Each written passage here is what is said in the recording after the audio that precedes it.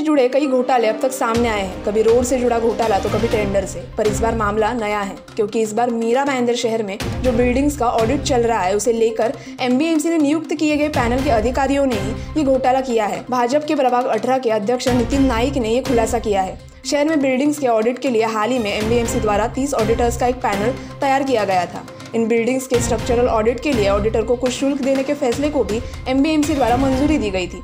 प्रभाग समिति छह के स्ट्रक्चरल ऑडिट को लेकर यह घोटाला हुआ है। प्रभाग समिति छह के अंतर्गत आने वाले काशी मीरा के स्वागत बार और हटके सिग्नल के शाही होटल के ऑडिट रिपोर्ट का ऑडिटर मोहम्मद शोएब भाटी और मधुएन मिश्रा द्वारा प्रभाग अधिकारी सचिन बच्चाए और योगेश गुणीजन के पास सबमिट किया गया।